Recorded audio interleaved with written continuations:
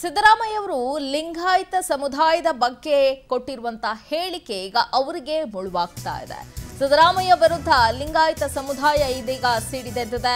ಭ್ರಷ್ಟ ಲಿಂಗಾಯತ ಸಿಎಂ ಎಂದಿದ್ದಕ್ಕೆ ಆಕ್ರೋಶ ವ್ಯಕ್ತ ಆಗ್ತಾ ಇದೆ. ಶ್ರೀ ಸರ್ಪಭೂಷಣ ಶಿವಯೋಗಿ ಮಠದ ಟ್ರಸ್ಟ್ನಿಂದ ಮಾಧ್ಯಮ ಪ್ರಕಟಣೆಯನ್ನ ಹೊರಡಿಸಲಾಗಿದೆ. ಸಿದ್ದರಾಮಯ್ಯ ಲಿಂಗಾಯತರ ಬಗ್ಗೆ ಗೌರವಯುತವಾಗಿ ನಡೆದುಕೊಂಡಿಲ್ಲ. ಈಗ ಬೊಮ್ಮಾಯಿ ಅವರನ್ನ ಭ್ರಷ್ಟರು ಅಂತ ಆರೋಪಿಸಿದ್ದಾರೆ. ಕರ್ನಾಟಕದ ಬಹುಸಂಖ್ಯಾತ ಸಮುದಾಯಕ್ಕೆ ಅಪಮಾನವಾಗಿದೆ ಅಂತ ಅವರು ಮಾಧ್ಯಮ ಪ್ರಕಟಣೆಯಲ್ಲಿ ತಿಳಿಸಿದ್ದಾರೆ. ರಾಜ್ಯಾದ್ಯಂತ ಲಿಂಗಾಯತ ಸಮುದಾಯ ಪ್ರತಿಭಟನೆಯನ್ನ ಮಾಡ್ತೀವಿ. ಸಿದ್ದರಾಮಯ್ಯ ಬಗ್ಗೆ ಮಾನನಿಷ್ಠ ಮೊಕದ್ದಮೆಯನ್ನ ಹಾಕ್ತೀವಿ.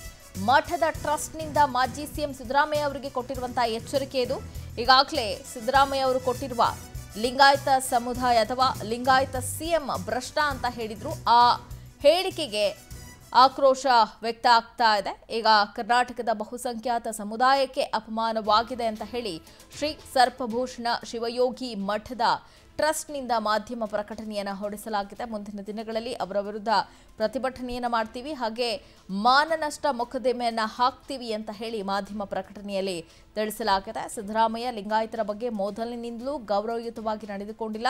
ಈಗ ಬೊಮ್ಮಾಯಿ ಅವರನ್ನ ಲಿಂಗಾಯತರು ಎಂಬ ನೆಲೆಯಲ್ಲಿ ಭ್ರಷ್ಟರು ಅಂತ ಆರೋಪಿಸಿದ್ದಾರೆ.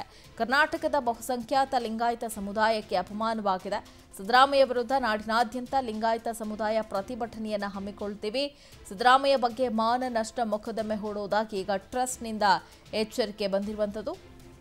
ಸಿದ್ದರಾಮಯ್ಯ ಅವರು ಕೊಟ್ಟಿರುವಂಥ ಈ ಹೇಳಿಕೆಗೆ ಲಿಂಗಾಯತ ಸಮುದಾಯ ಈಗಾಗಲೇ ಆಕ್ರೋಶವನ್ನು ವ್ಯಕ್ತಪಡಿಸ್ತಾ ಇದೆ. ಜೊತೆಗೆ ಬಿ ಕೂಡ ಸಿದ್ದರಾಮಯ್ಯ ಅವರ ಈ ಹೇಳಿಕೆಯನ್ನು ಖಂಡಿಸ್ತಾ ಇದೆ. ಈಗ ಶ್ರೀ ಸರ್ಪಭೂಷಣ ಶಿವಯೋಗಿ ಮಠದ ಟ್ರಸ್ಟ್ನಿಂದ ಮಾಧ್ಯಮ ಪ್ರಕಟಣೆಯು ಹೊರಡಿಸಲಾಗಿದೆ.